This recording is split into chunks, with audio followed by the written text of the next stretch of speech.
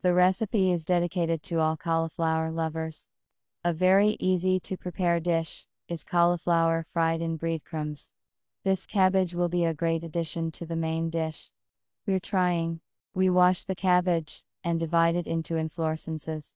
Boil the cauliflower in boiling, salted water. Cook for 6 7 minutes, then flip into a colander and cool. Beat the egg and roll the cabbage in it. Now roll the cabbage in breadcrumbs, salt and pepper to taste. Fry the cabbage in vegetable oil from all sides until a beautiful golden crust. Bon appetit!